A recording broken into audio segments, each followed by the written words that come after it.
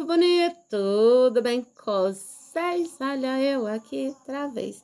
Gente, eu tava vendo a Lilian, mãe de três meninos.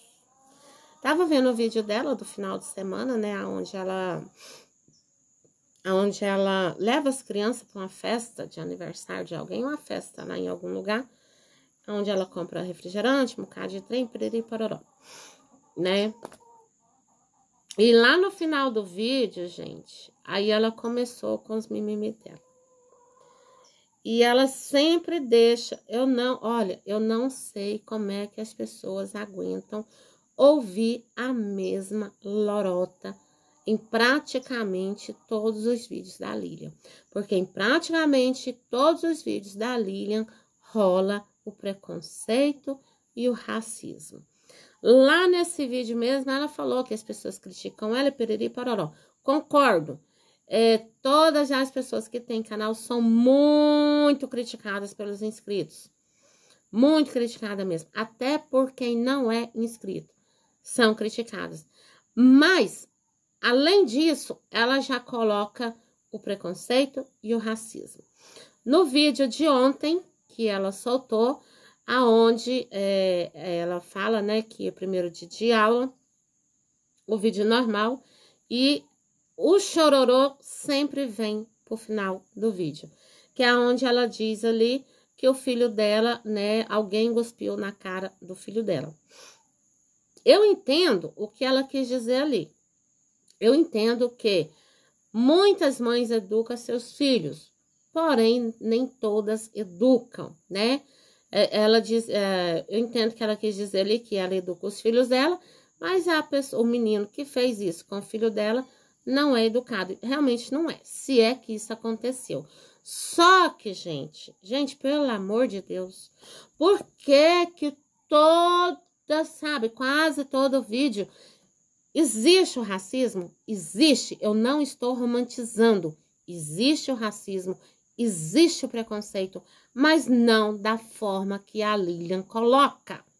Parece que a Lilian, sabe assim, pegou todos os preconceitos e racismo do Brasil e, e, e, todo dia que ela faz um vídeo, acontece um com ela, sabe? Um, um, um racismo, um, um, preconceito, porque a mulher põe o pé para fora, acontece um racismo preconceito. Ela se sente desconfortável. Aí acontece, sabe? É com os filhos, é com ela. Gente, pelo amor de Deus, até quando a Lília vai ficar nessa choradeira, nessa mimiseira, com tanto preconceito, com tanto racismo, que parece que ela é a única pessoa na face da terra que passa por essa situação. E, é, gente, quase todos os vídeos sabe? Se fosse, tipo, uma vez a cada dois, três meses, eu calava a minha boca. Mas não é. Toda semana ela passa por racismo e preconceito. O que que, sabe, assim, ou ela tem, ou ela é paranoica com essas coisas, sério, é sério. Ou ela é paranoica com essas coisas, ou ela não se aceita. Porque para uma pessoa ter tanto isso em mente, é uma pessoa que não se aceita e acha que todo mundo é, é igual ela, não aceita ela, sabe? Não aceita a cor dela, não aceita o, o corpo dela, porque eu nunca vi desse jeito, sabe? A mulher tá, tá surtando já com esse negócio de, de preconceito e racismo. Ela tá surtando. Isso não é normal eu acho que ela deveria procurar seriamente, o mais rápido possível, um psicólogo, sabe? Para ela ver que, que, que tara é essa no, no, no tal do preconceito e o racismo. Porque, a gente, não tem condição.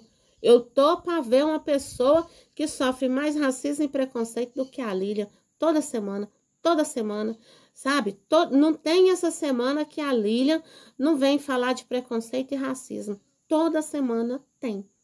É na loja de, de que vai comprar é, o material escolar dos filhos, é na escola dos filhos, é na rua, é no supermercado, é, sabe? É, é, é... Ela não pode pôr o pé para fora de casa, que ela se sente desconfortável e alguém comete um ato desse contra ela toda semana. Eu acho que ela dever, deveria procurar ajuda, porque isso não é normal. Eu sei que existe, existe o preconceito, existe o racismo, mas não nessa proporção. É isso aí, meu povo. Beijo no coração de vocês. Até o próximo vídeo.